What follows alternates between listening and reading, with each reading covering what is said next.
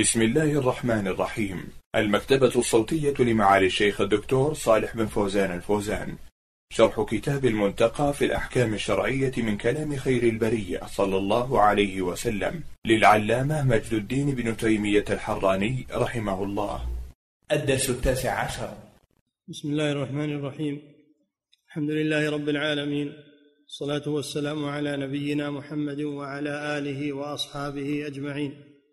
أما بعد قال المؤلف رحمه الله تعالى باب اشتراط الطهارة قبل اللبس. بسم الله الرحمن الرحيم. الحمد لله والصلاة والسلام على رسول الله وعلى آله وأصحابه من اهتدى بهداه. المسح على الخفين الوضوء اشترطوا له شروط. أولها أن يكون الخفان ساترين للرجلين. سليمين ليس فيهما خروق ولا فتحات يظهر شيء من الرجل. لا بد أن يكون ساترين.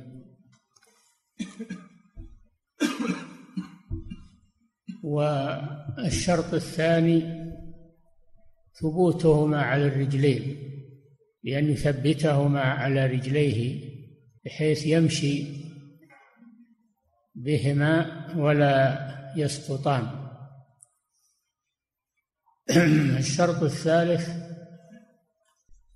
أن يلبسهما بعد كمال الطهارة.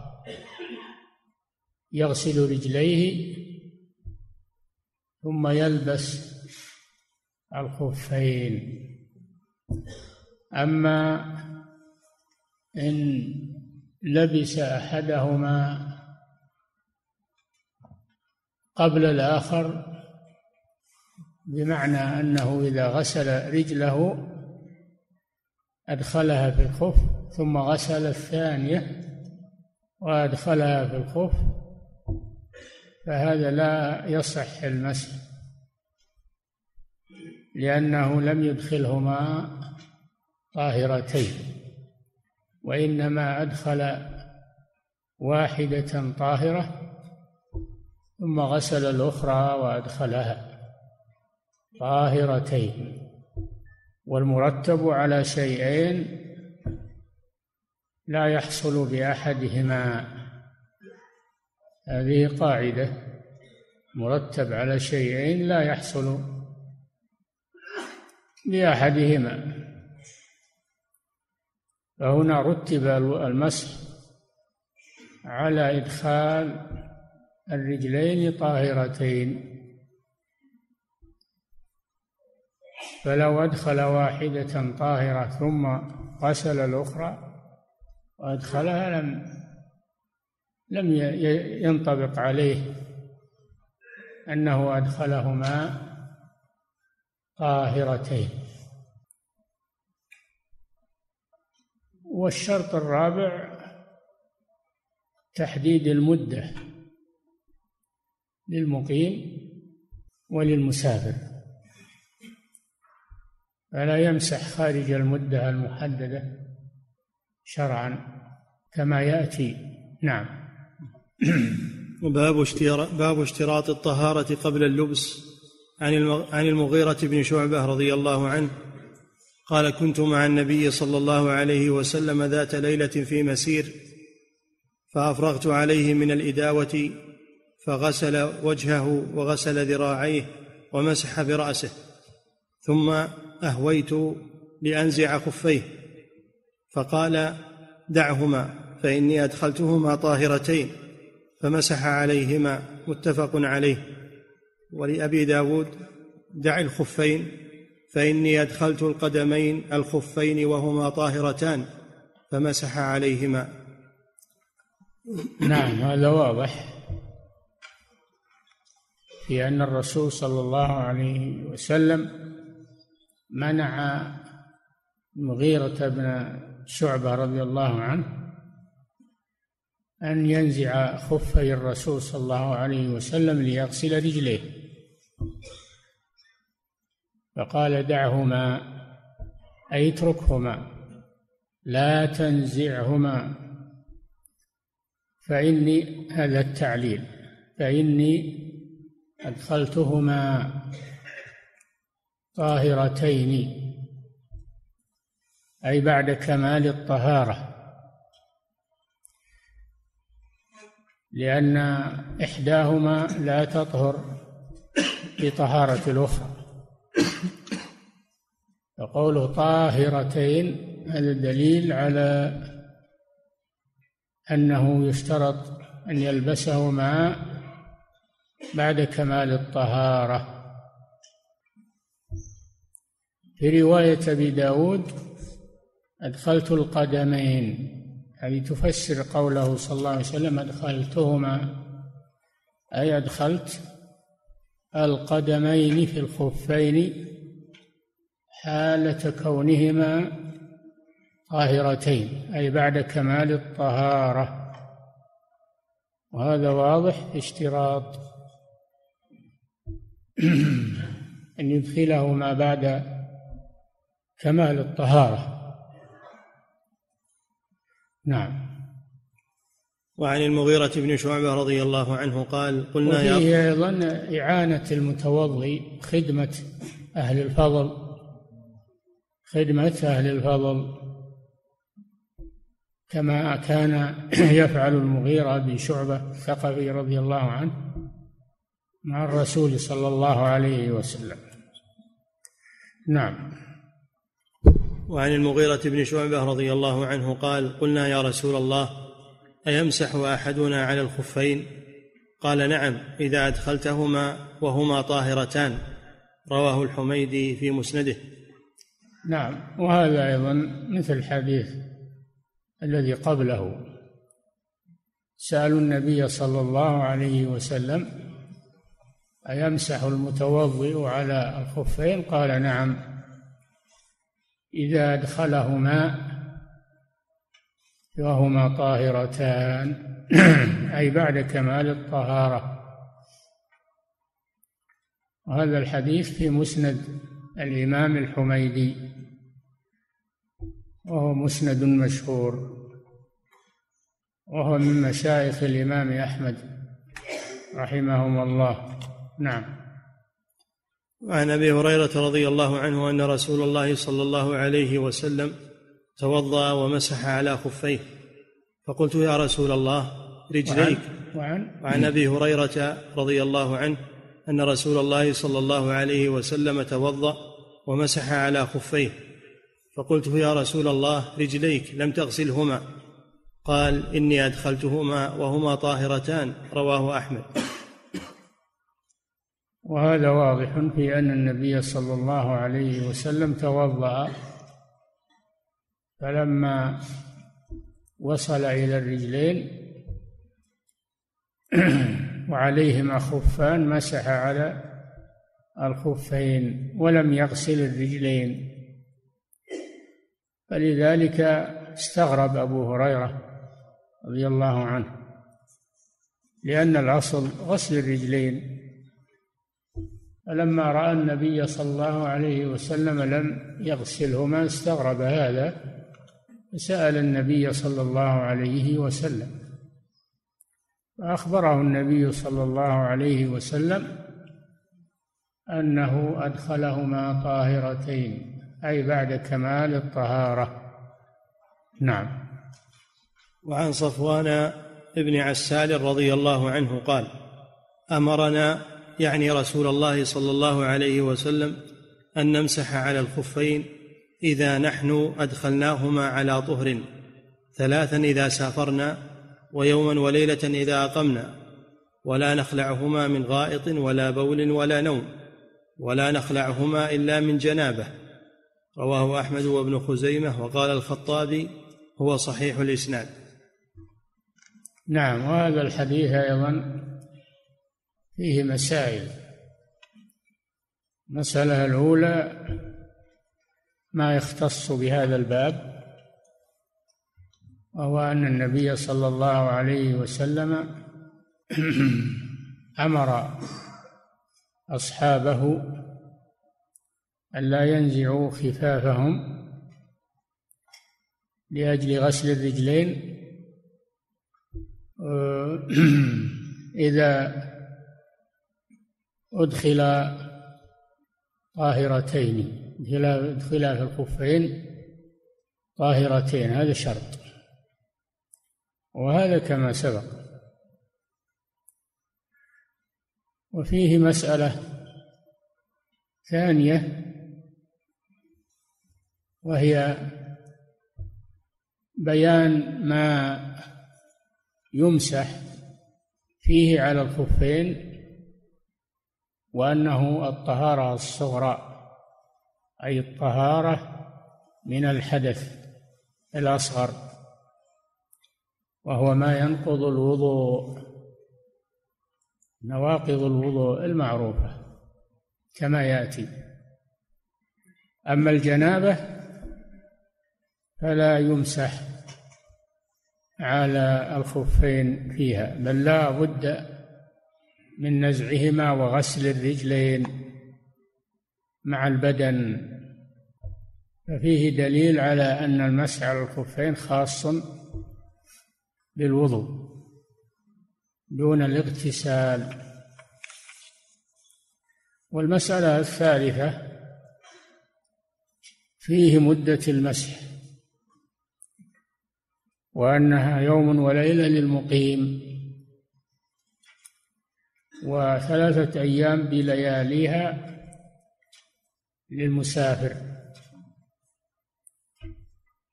وهذا من رحمة الله تعالى حيث وسع للمسافر أكثر من المقيم لأن المسافر أكثر مشقة من المقيم. فهذا فيه التفصيل في المدة. والفرق بين المسافر والمقيم فيها. نعم. وعن عبد الرحمن بن أبي بكرة عن أبيه عن النبي صلى الله عليه وسلم أنه رخص للمسافر ثلاثة أيام ولياليهن وللمقيم يوما وليلة إذا تطهر فلبس خفيه أن يمسح عليهما. رواه الأثرم في سننه وابن خزيمة والدار قطني قال الخطابي هو صحيح الإسناد. نعم. وهذا كما سبق هذا كما سبق في أن المتوضي يمسح على خفيه إذا كان لبسهما على طهارة بعد كمال الطهارة. لأنه جاء بالفاء التي هي للتعقيب. إذا توضأ فأدخل رجليه فهذا واضح لأنه لا بد من كمال الطهارة فلا يكفي غسل إحدى الرجلين ثم إلباس الخف قبل الأخرى. لا يكفي هذا بل لا بد من كمال الطهارة. نعم أعيد الحديث. عن عبد الرحمن بن أبي بكرة عن أبيه عن النبي. الرحمن بن أبي بكرة الثقفي. عبد الرحمن بن أبي بكرة الثقفي واسمه نفيع بن الحارث. سمي أبا بكرة لأنه في حصار الطائف لأنه في حصار الطائف كان مع المشركين داخل الحصن. فخرج إلى المسلمين بواسطة حبل وبكرة يعني بكرة معروفة التي يخرج بها الشيء من البير. فهو رضي الله عنه خرج إلى المسلمين مسلما وهاربا من الكفار بواسطة البكرة فسمي أبا بكرة. نعم. وعن وعن عبد الرحمن بن أبي بكرة عن أبيه. عن أبيه آه، أبي بكرة رضي الله عنه. نعم. عن النبي صلى الله عليه وسلم. أنه رخص للمسافر ثلاثة أيام ولياليهن وللمقيم يوما وليلة إذا تطهر فلبس خفيه أن يمسح عليهما. نعم هذا كما سبق من الأحاديث لكن قوله رخص هذا يعطي أن المسح على الخفين رخصة وأن غسل الرجلين عزيمة. فالأصل غسل الرجلين وهو العزيمة وينوب عنه المسح على الخفين من باب الرخصة والتسهيل على المسلمين. والله جل وعلا يحب أن تؤتى رخصه كما يكره أن تؤتى معصيته. وفيه ما ذكرنا التصريح بأن بأن المسح على الخفين يشترط له لبسهما على طهارة. لأنه قال إذا تطهر فلبس. هذه تعقيبية. تطهر فلبس. هذه تعقيبية.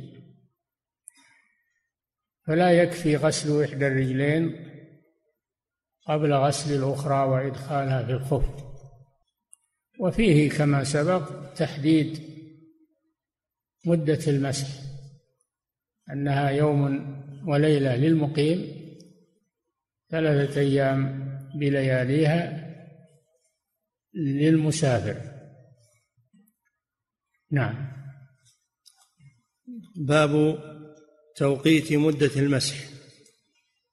نعم مرت في الأحاديث السابقة مرت في الأحاديث السابقة لكنها دخلت ضمنا دخلت ضمنا في باب اشتراط الطهارة اشتراط كمال الطهارة للبس الخف لمسح على الخفين. نعم وأفردها هنا بباب خاص لأهميتها لأهميتها. فالمسح على الخفين ليس مطلقا ودائما بل لا بد من تحديد مدة تقيد بها المسلم. نعم. باب توقيت مدة المسح. قد أسلفنا فيه عن صفوان وأبي بكره نعم أسلفنا في الباب الذي قبل هذا كما سبق. نعم. وروى شريح وروى شريح بن هانئ قال سألت عائشة رضي الله عنها عن المسح على الخفين فقالت سل عليا فإنه أعلم بهذا مني كان يسافر مع رسول الله صلى الله عليه وسلم. فسألته فقال قال رسول الله صلى الله عليه وسلم للمسافر ثلاثة أيام ولياليهن وللمقيم يوم وليلة رواه أحمد ومسلم والنسائي وابن ماجه. نعم.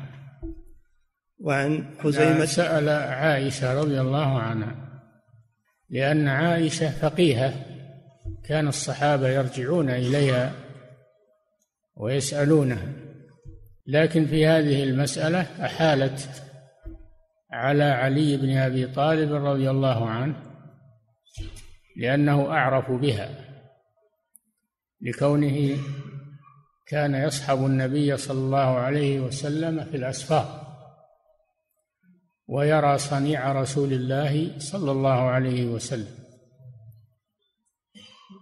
فهذا فيه أن العالم يحيل على من هو أعلم منه ولو في بعض المسائل يحيل على من هو أعلم منه لا سيما في المسائل التي يكون فيها اختصاص لبعض العلماء دون بعض لسبب من الأسباب.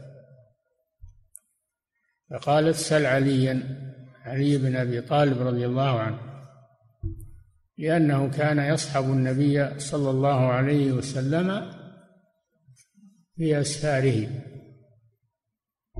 فأخبر علي رضي الله عنه أنه وقت للمسافر ثلاثة أيام بلياليها وللمقيم يوم وليلة.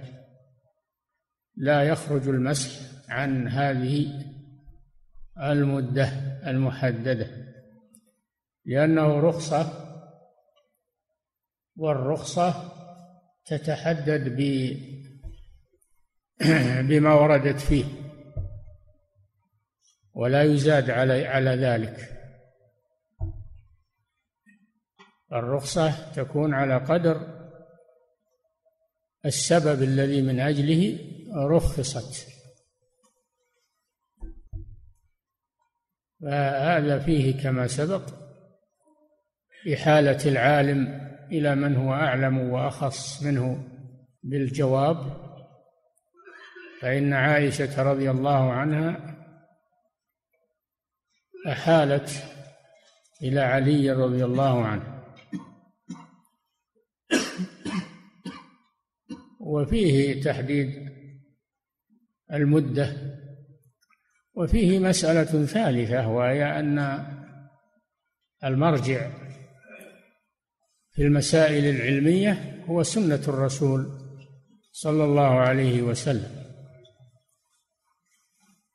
المرجع هو سنة الرسول صلى الله عليه وسلم. ولا يجوز لأحد أن يقول برأيه دون أن يرجع إلى الدليل ويعرف السنة في ذلك. نعم. وعن خزيمة ابن ثابت رضي الله عنه عن النبي صلى الله عليه وسلم أنه سئل عن المسح على الخفين فقال للمسافر ثلاثة أيام ولياليهن وللمقيم يوم وليلة. رواه أحمد وأبو داود والترمذي وصححه. نعم. باب اختصاص المسح بظهر الخف. نعم عرفنا الآن ثبوت المسح على الخفين وشروطه. فهل المسح يعم جميع الخف؟ ظاهره أعلاه وأسفله وجانبيه مثل ما تغسل الرجل كما أن الرجل تغسل كلها فكذلك الخف يمسح عليه كله. فهذه المسألة يفصلها فعل الرسول صلى الله عليه وسلم. وذلك في قول علي رضي الله عنه لو كان الدين بالرأي لكان أسفل الخف أولى بالمسح من أعلاه ولكني رأيت رسول الله صلى الله عليه وسلم يمسح على ظاهر الخف. المرجع في هذا هو سنة الرسول صلى الله عليه وسلم. ولا يعمل بالقياس مع وجود سنة الرسول صلى الله عليه وسلم. وإلا لو كان يرجع إلى الفكر وإلى الرأي كان أسفل الخف الذي يباشر الأرض ويباشر التراب. أولى بالمسح من أعلاه ولكن هي سنة الرسول صلى الله عليه وسلم. فلا يستعمل القياس مع وجود السنة والدين ليس بالرأي وإنما الدين بالدليل الوارد من الكتاب والسنة.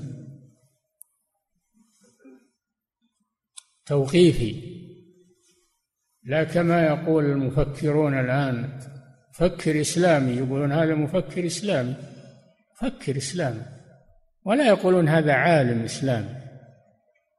مفكر. هو الدين بالتفكير أو بالفكر. الدين إنما والعلم ليس بالتفكير. إنما العلم ما ورد في الكتاب والسنة. هذا هو العلم. وهذا محل وفاق بين العلماء تقريبا أنه يمسح أعلاه. يمسح أعلاه لأن هذا فعل الرسول صلى الله عليه وسلم. ولا يمسح أسفله ولا جوانبه. وإن كان بعض العلماء يرى هذا ولكن سنة الرسول صلى الله عليه وسلم هي الحاكمة في ذلك. فلا فكر ولا رأي في الدين. لو كان الدين بالرأي لكن الدين ليس بالرأي. الدين بالدليل من الكتاب والسنة. والسنة تكون قولية وتكون فعلية. فهذا فيه دليل على الاحتجاج بالسنة العملية. رأيت رسول الله صلى الله عليه وسلم يفعل ذلك. فهذا فيه الاحتجاج بفعل الرسول صلى الله عليه وسلم وأنه مثل قوله لأن السنة إما قول أو فعل أو تقرير. هذه السنة ما ثبت عن الرسول صلى الله عليه وسلم من قول أو فعل أو تقرير. القول إذا نطق الرسول صلى الله عليه وسلم افعلوا كذا لا تفعلوا كذا. أو الفعل فعل الرسول صلى الله عليه وسلم لأنه مشرع عليه الصلاة والسلام بإذن الله ومبلغ عن الله. ما آتاكم الرسول فخذوه وما نهاكم عنه فانتهوا.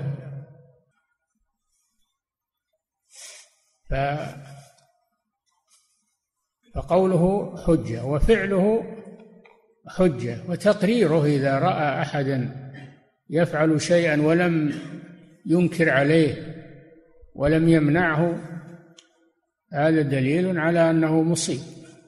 إقرار الرسول صلى الله عليه وسلم له على ذلك يدل على أنه مصيب. هذا هو التقرير يعني الإقرار إقرار أحد من الناس على فعل فعله أو قول قاله ولم يعارضه الرسول أو ينكر عليه. فتقريره صلى الله عليه وسلم سنة. نعم. وهذا فيه رد على الملاحدة الذين يقولون إنما نحتج بالقرآن فقط ولا نحتج بالأحاديث. يقولون إنما نحتج بالقرآن ويسمون بالقرآنية وبعضهم يقول نحتج بالحديث المتواتر ولا نحتج بالأحاد بالأحاديث الآحاد. ما نحتج بأحاديث الآحاد إنما نحتج بالمتواتر فقط.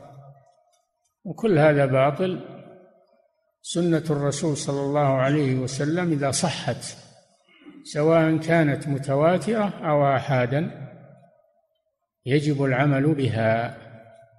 وما آتاكم الرسول فخذوه وما نهاكم عنه فانتهوا.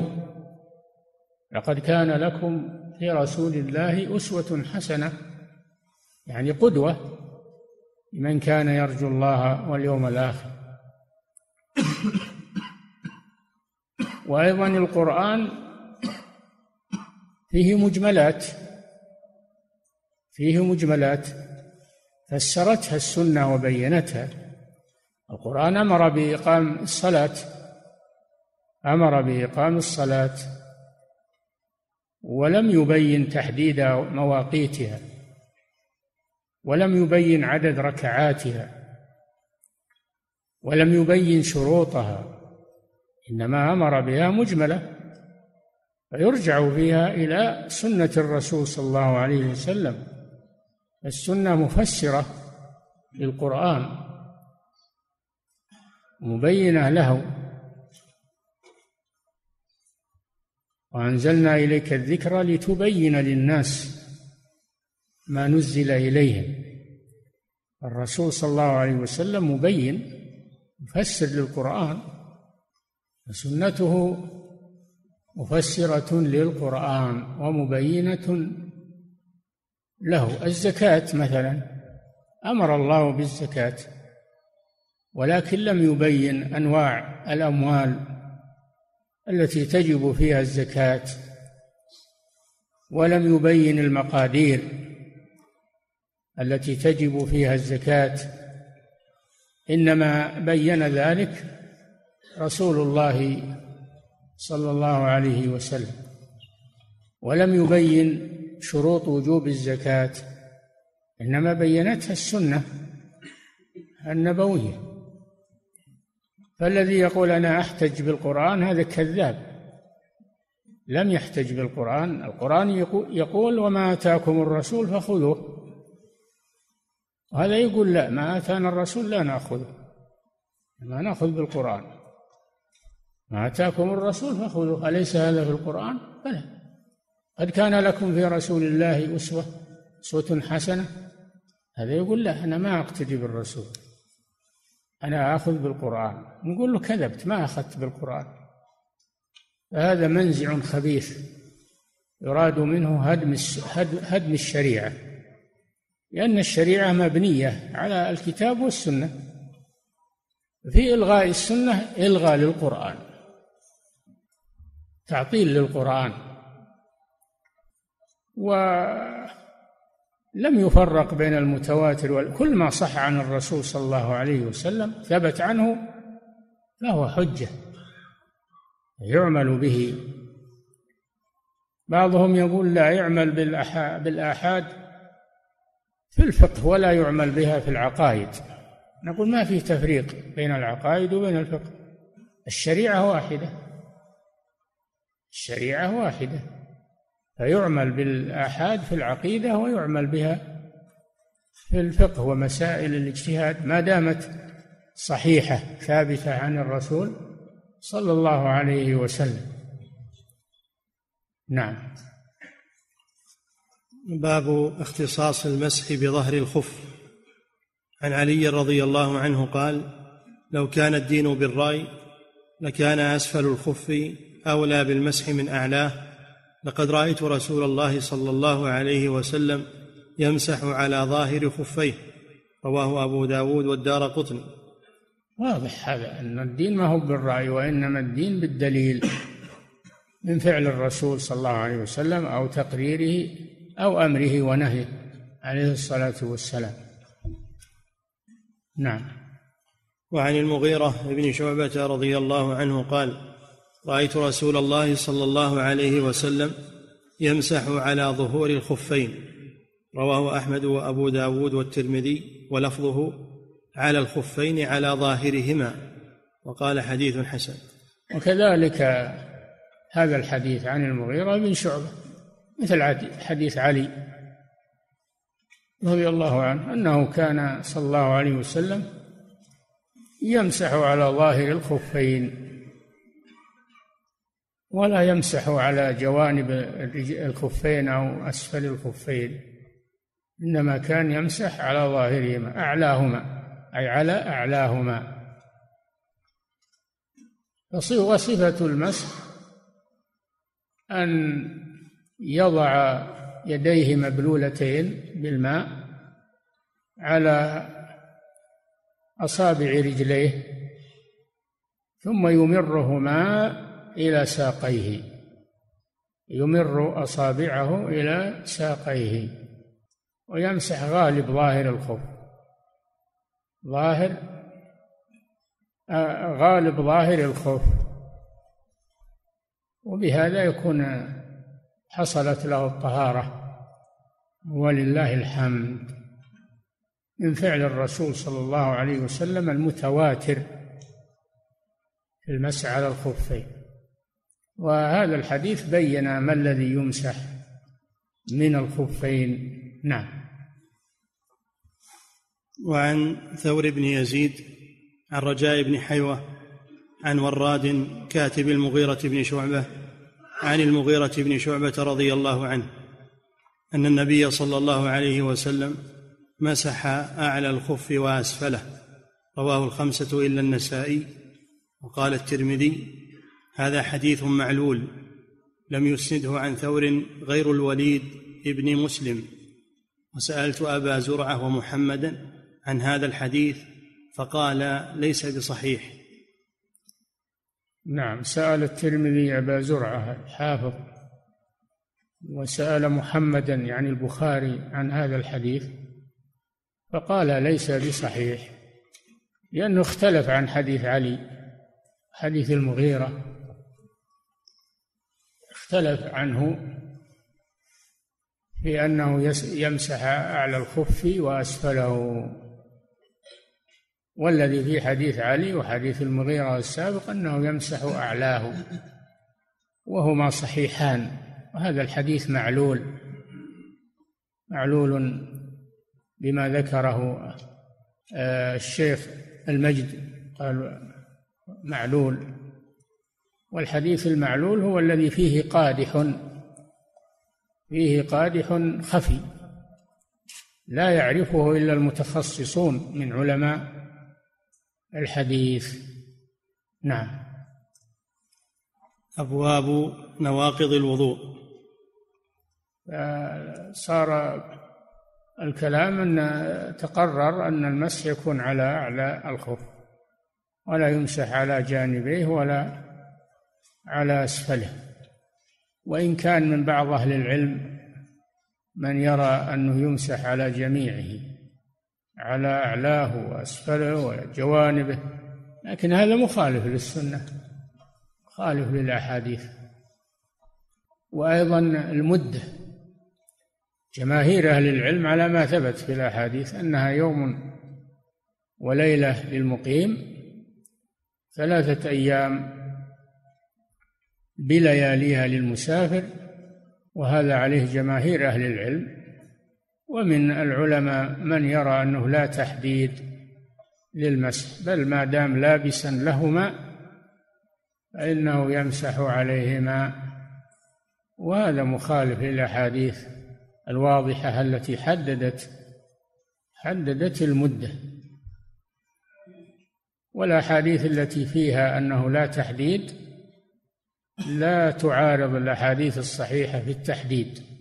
ولا يعمل بها. وإن كان بعض العلماء يقول بذلك ينسب إلى مالك رحمه الله وإلى غيره أنه لا تحديد ولكن الصحيح والذي عليه والذي تدل عليه الأدلة وعليه جمهور أهل العلم أنه يشترط التحديد. لكن تبقى مسألة عرفنا المدة الآن إنها يوم وليلة للمقيم وثلاثة أيام بلياليها للمسافر. لكن متى تبدأ المدة؟ هل هي من اللبس؟ لبس الخفين؟ أو تبدأ من المسح؟ أو تبدأ من انتقاض الوضوء بعد بعد اللبس؟ ثلاثة أقوال لأهل العلم. المذهب أنها تبدأ من انتقاض الوضوء. إذا لبس الخفين على طهارة ثم انتقض وضوءه فإنه يبدأ مدة المسح ومنهم من يقول إن إن المسح يبدأ من أول مسحة بعد اللبس أول مسحة بعد اللبس. والمسألة فيها خلاف بين هذه الأقوال الثلاثة لكن المذهب أنه يبدأ من حدث بعد لبس. لأن سبب المسح هو انتقاض الوضوء فيبدأ من السبب. يبدأ من السبب. ومنهم من يقول يبدأ من المسح لأن الحديث فيه يمسح المقيم يوم ليل ويمسح كذا. ظاهره أنه يبدأ من المسح. والله تعالى أعلم. نعم. أبواب نواقض الوضوء. نواقض الوضوء جمع ناقض أي مبطلاته. نواقض الوضوء مبطلات الوضوء. نعم. باب الوضوء بالخارج من السبيل. نعم.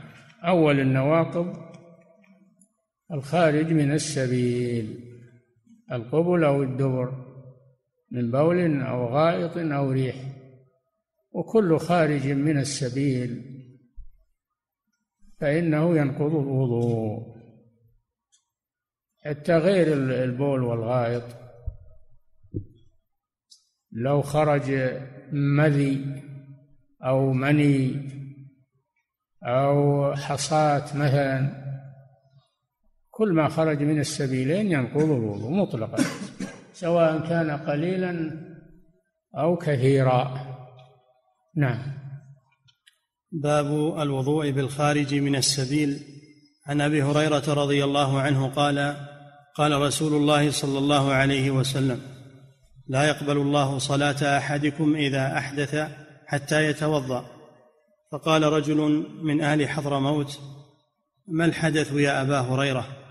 قال فساء أو ضراط متفق عليه. نعم. لا يقبل الله صلاة أحدكم إذا أحدث حتى يتوضأ. فهذا دليل على أن الحدث آه، يبطل الوضوء. سأل رجل من حضرموت من بلاد اليمن بلاد معروفة أبا هريرة راوي الحديث ما معنى أحدث؟ أو ما هو الحدث؟ ففسره بالريح التي تخرج وهذا أحد الأشياء التي تخرج من السبيل الريح. نعم. وفي حديث ما ما يشترط أن يكون بولا أو غائطا بل الريح أيضا تنقض الوضوء. نعم. وفي حديث صفوان في المسح لكن من غائط وبول ونوم وسنذكره. نعم حديث صفوان بن عسال. أيضا هذا فيه بيان نواقض الوضوء. أمرنا صلى الله عليه وسلم إذا كنا سفرا ألا ننزع خفافنا ثلاثة أيام بلياليها إلا من جنابة لكن من بول وغائط ونوم. من بول هذا عرفناه. وغائط هذا معروف. النوم ينقض الوضوء أيضا بنص هذا الحديث. وأحاديث ستأتي أن النوم ينقض الوضوء. إذا كان نوما مستغرقا لا يدري الإنسان عن نفسه.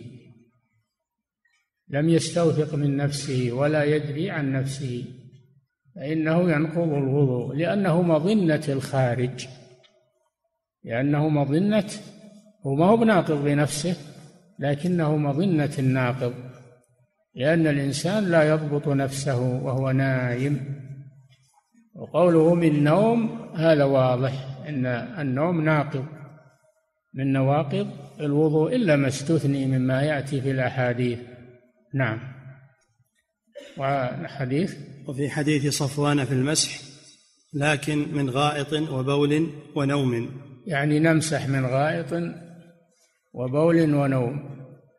وكونه امرهم ان يمسحوا دليل على أن هذه الأشياء تنقض. تنقض الوضوء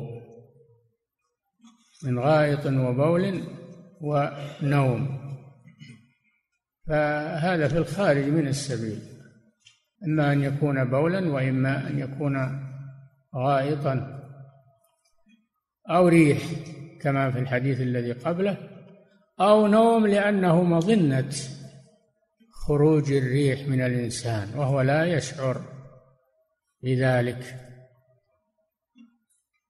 ومظنة الشيء تنزل منزلته. نعم.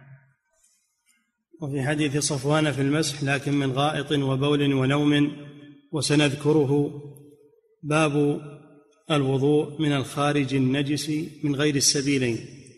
خارج النجس من غير السبيلين. مثل القيء. القيء نجس. إذا تقيأ الإنسان تقضى وضوءه لأن القيء نجس ويخرج من المعدة. ومثل الدم الكثير الذي يخرج من البدن. هذا أيضا ينقض الوضوء والرعاف إلى آخره. نعم. باب الوضوء من الخارج النس من الخارج النجس من غير النجس بهذا القيد أن يكون الخارج نجسا فإن كان الخارج طاهرا كالبصاق وغير ذلك فإنه لا ينقض الوضوء. نعم. باب الوضوء من الخارج النجس من غير السبيلين. نعم نعم. من غير السبيلين. عن معدان ابن أبي طلحة عن أبي الدرداء رضي الله عنه أن النبي صلى الله عليه وسلم قاء فتوضأ.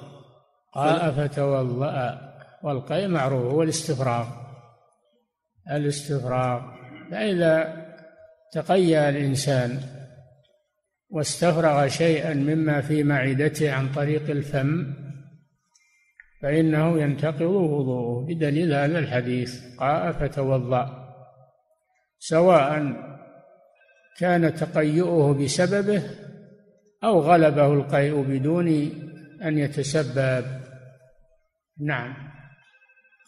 عن معدان بن أبي طلحة عن أبي الدرداء أن النبي صلى الله عليه وسلم قاء فتوضأ فلقيت ثوبان في مسجد دمشق فذكرت ذلك له فقال صدق أنا صببت له وضوءه.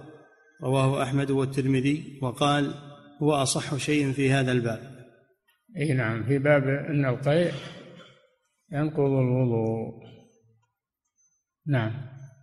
وعن إسماعيل بن عياش عن ابن جريج عن ابن أبي مليكة عن عائشة رضي الله عنها قالت قال رسول الله صلى الله عليه وسلم من أصابه قيء أو رعاف أو قلس أو مذي فلينصرف فليتوضأ ثم ليبني على صلاته وهو في ذلك لا يتكلم.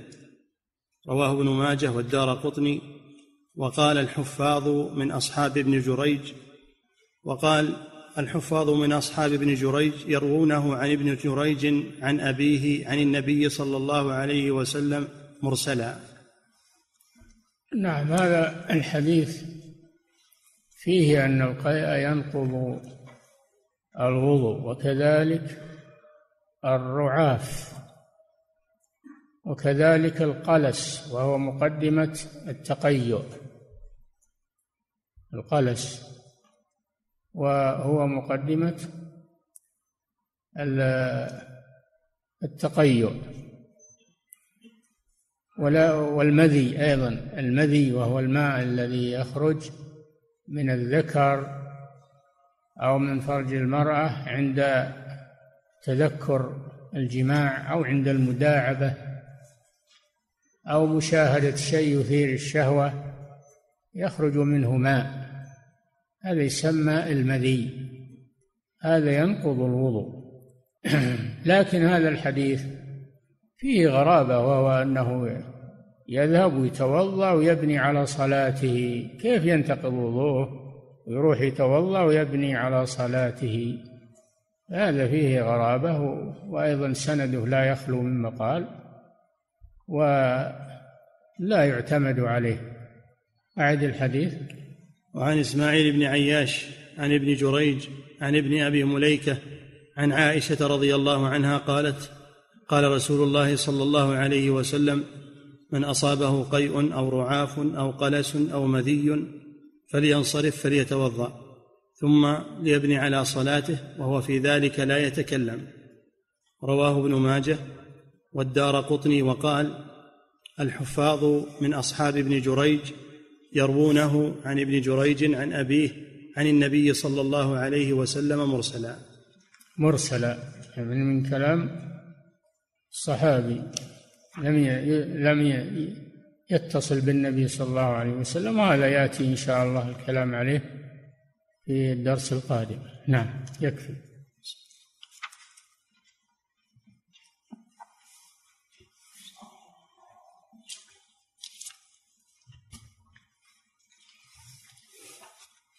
يقول فضيلة الشيخ وفقكم الله في قول المؤلف رحمه الله رواه الحميدي في مسنده.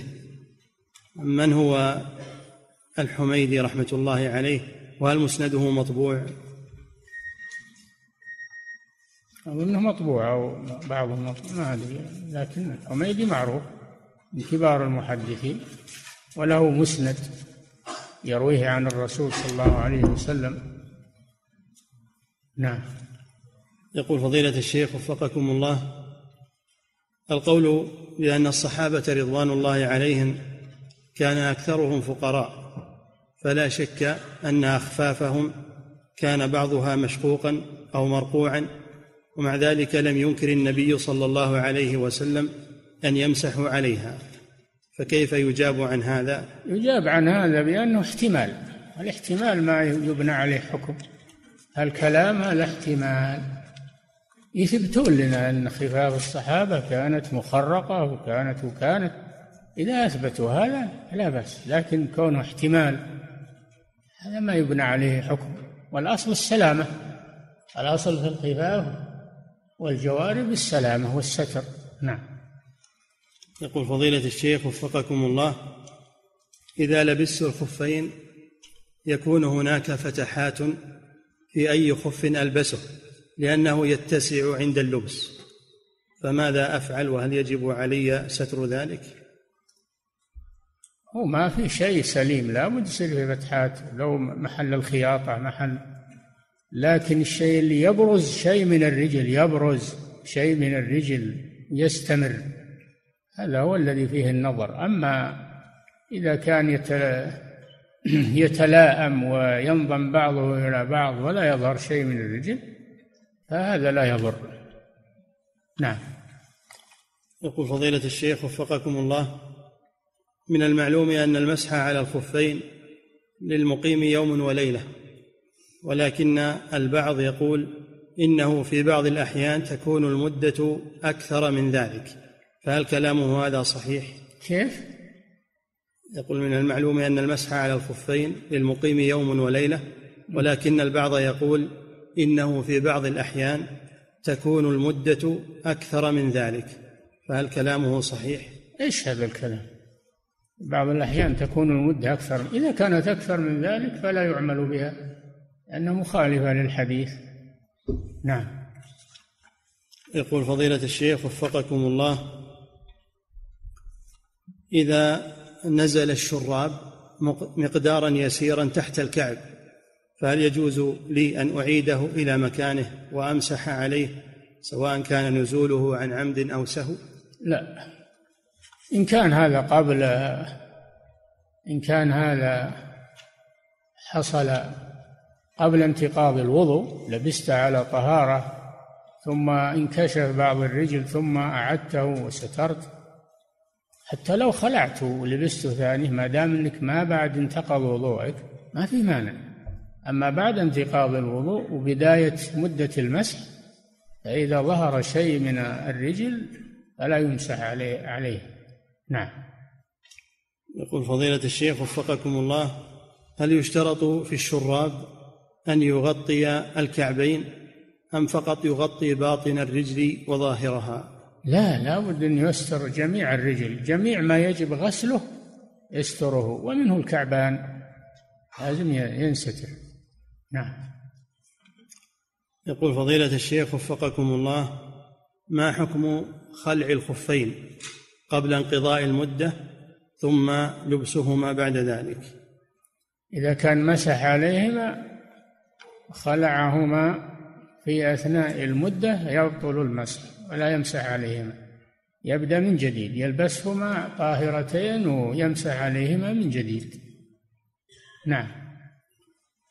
يقول فضيلة الشيخ وفقكم الله إذا لبس أكثر من جورب في الرجل الواحدة فهل يمسح على الأول أم على الثاني؟ يمسح على ما بدأ المسح عليه. فإذا كان بدأ على الأسفل فإنه يمسح عليه يستمر. ويرفع ما فوقه. وأما إذا كان لبس الأشياء قبل المسح قبل أن يبدأ المسح فانه يمسح على الأعلى منها. نعم. يقول فضيلة الشيخ وفقكم الله يقول السائل أنا أقوم بتعليم الناس في المسجد وغيره وخاصة العوام فيشكل عليهم مسائل المسح. وخاصة في توقيت البداية والنهاية. فهل أقول لهم البس الشراب من صلاة الفجر حتى عند النوم ثم انزعه وإذا قمت الفجر تبدأ من جديد ولا إشكال في كلام هذا؟ هو خاص بصلاة الفجر. متى ما لبس الحائل لو الظهر لو العصر ما هو خاص بصلاة الفجر. إذا توضأ وضوءا كاملا ولبس الحائل في أي وقت يبدأ مدة المسح ولا يتقيد بالفجر. هذا واضح ما ما يشكل على أحد. نعم. يقول فضيلة الشيخ وفقكم الله ما صلة القرابة التي تجمع بين مؤلف كتاب المنتقى وبين شيخ الإسلام ابن تيمية رحمة الله عليهما؟ شيخ الإسلام حفيد حفيد للمجد صاحب المنتقى. جده صاحب المنتقى جد شيخ الإسلام. يعني شيخ الإسلام اسمه أحمد بن عبد الس... بن أحمد بن عبد السلام آه، أحمد بن عبد الحليم. شيخ الإسلام اسمه أحمد بن عبد الحليم ابن عبد السلام. وعبد السلام هو المجد ابن تيمية. نعم. يقول فضيلة الشيخ وفقكم الله الأثر الوارد عن علي رضي الله عنه لو كان الدين بالرأي.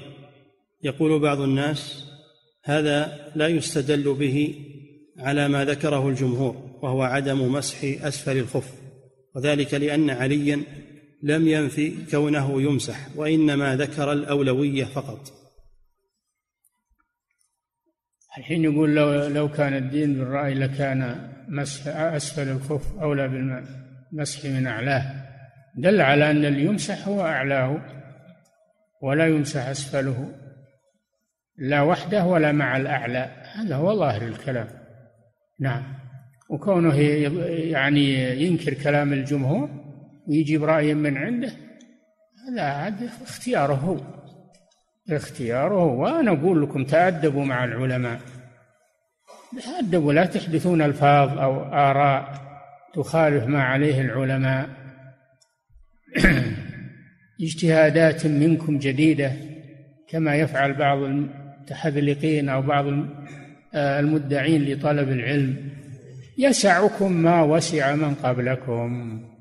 إذا كنتم تريدون السلامة فإنه يسعكم ما وسع من, من كان قبلكم من الأئمة نعم يقول فضيلة الشيخ وفقكم الله عند ورود سنة عند ورود سنة النبي صلى الله عليه وسلم القولية أو الفعلية فماذا يقدم؟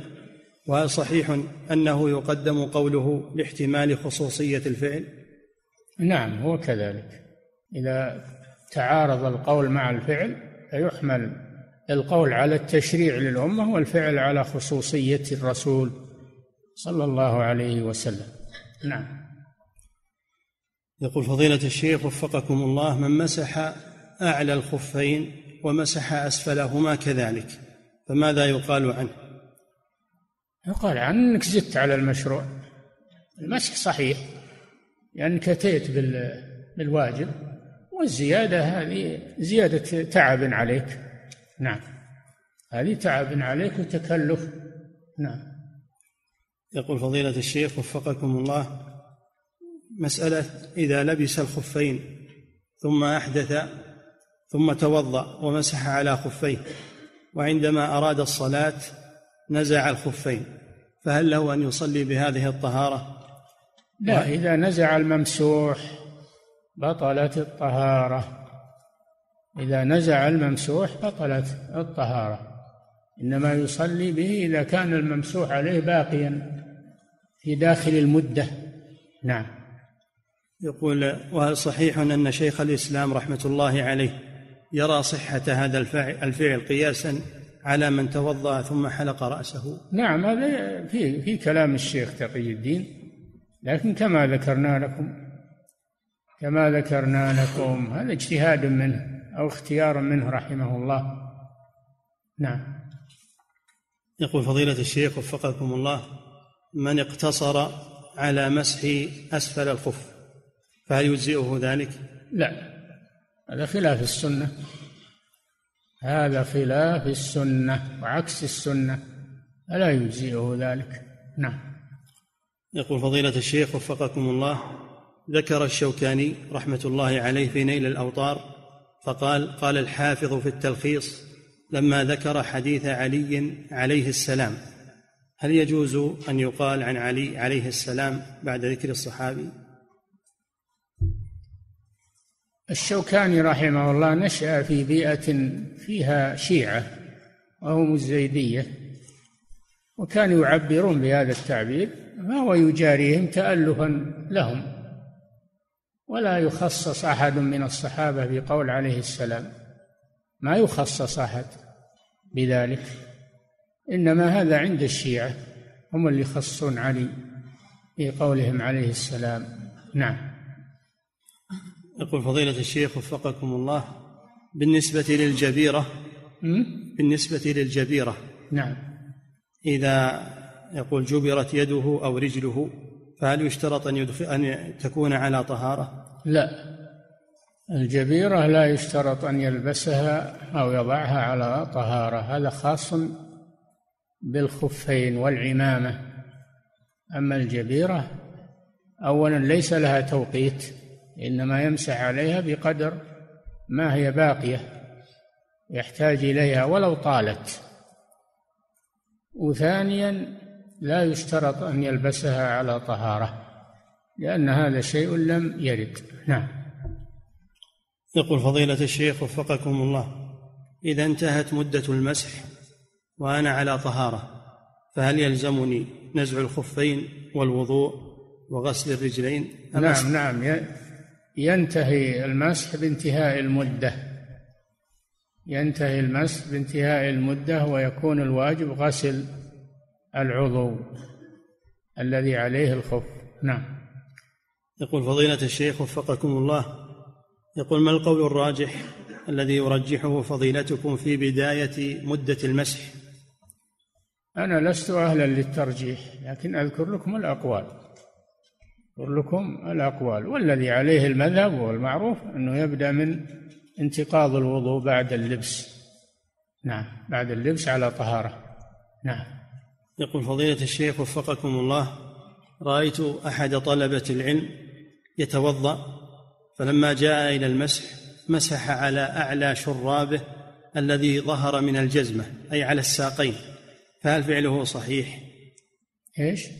يقول رأيت أحد طلبة العلم توضأ فلما جاء إلى المسح على الخف مسح على أعلى الشراب الذي ظهر من الجزمة بمعنى أنه مسح على الساقين فهل فعله صحيح؟ لا ما هو صحيح. ليس صحيحا. المسح على الخفين من الأصابع أصابع الرجلين إلى الساق. هذا محل المسح.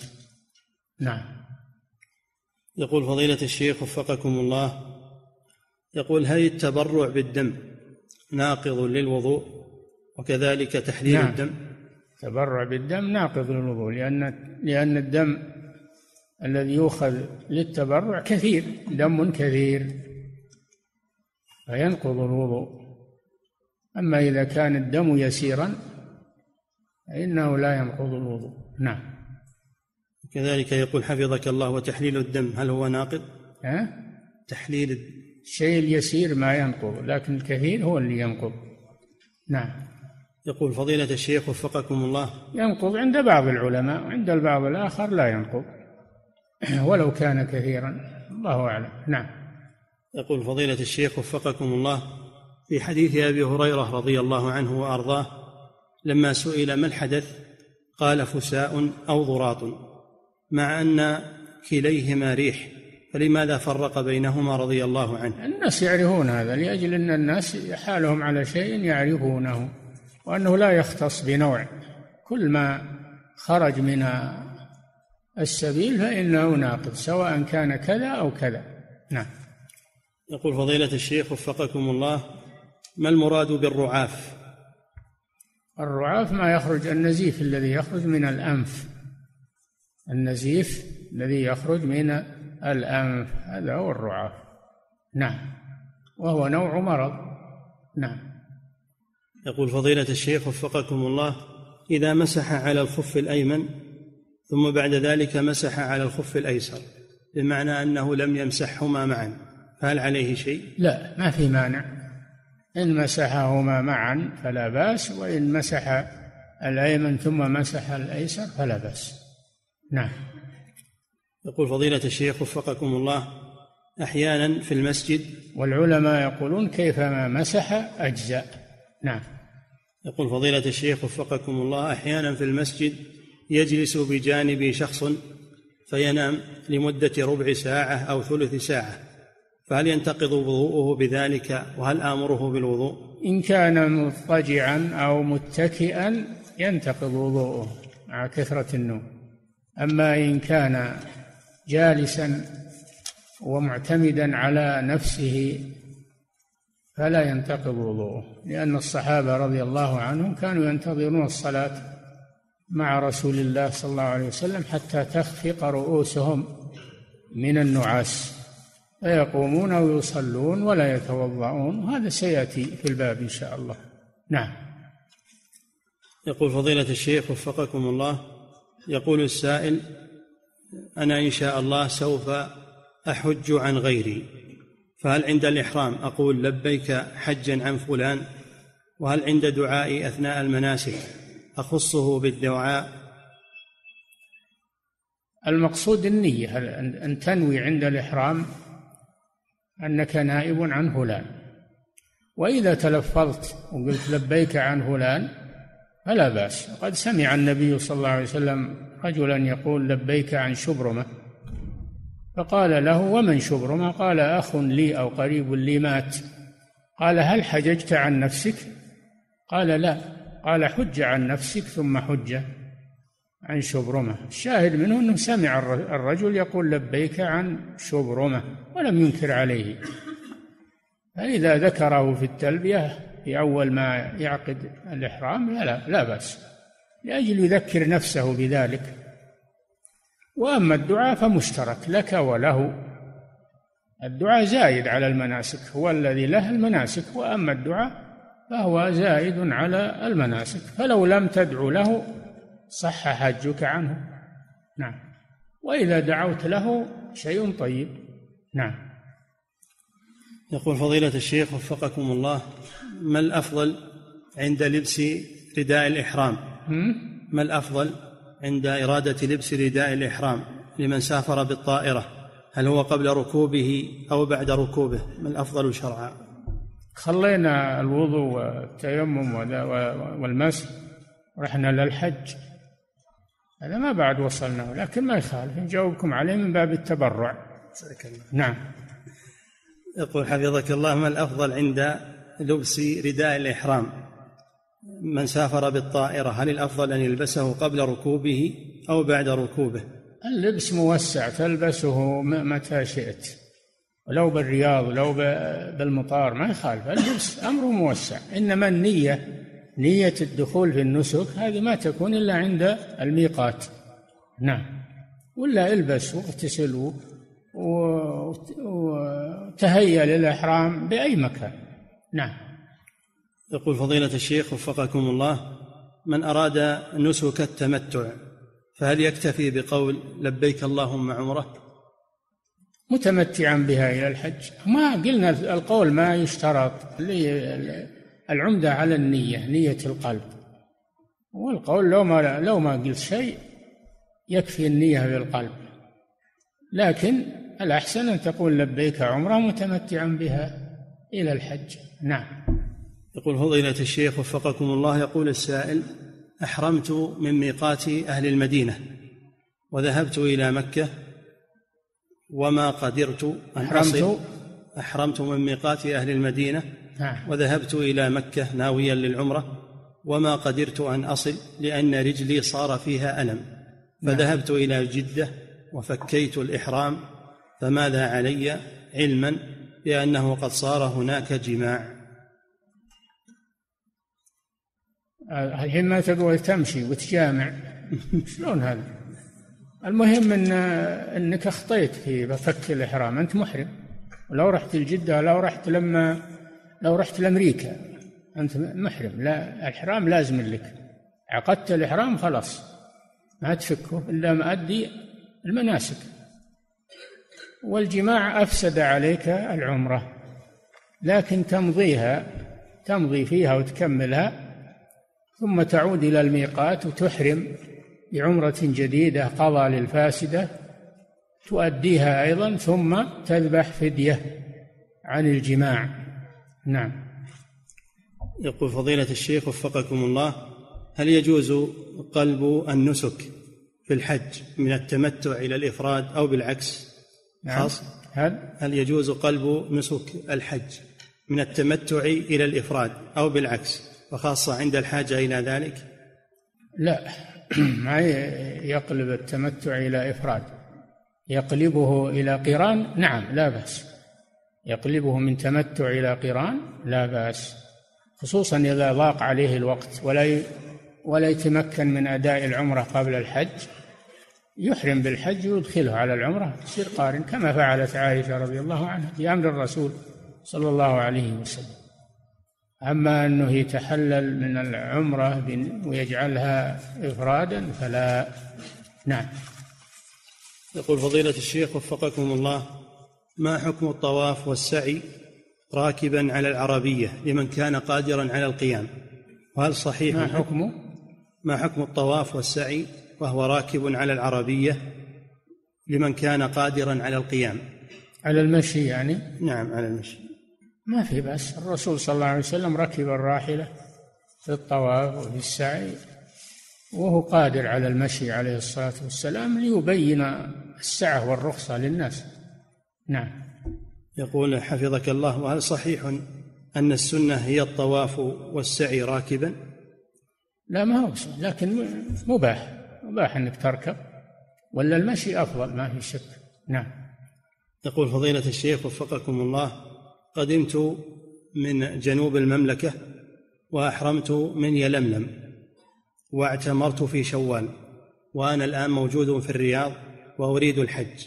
فهل عمرتي في شوال أكون بها متمتعا أم لا بد من عمرة أخرى؟ ما دمت لم ترجع إلى بلدك بين بين العمرة والحج فأنت متمتع. ما دمت لم ترجع إلى بلدك بين العمرة والحج. فأنت متمتع. إلى الرياض أو إلى غيره. نعم. يقول فضيلة الشيخ وفقكم الله ما الفاصل الذي يعد شرعا قاطعا للتتابع في الطواف والسعي؟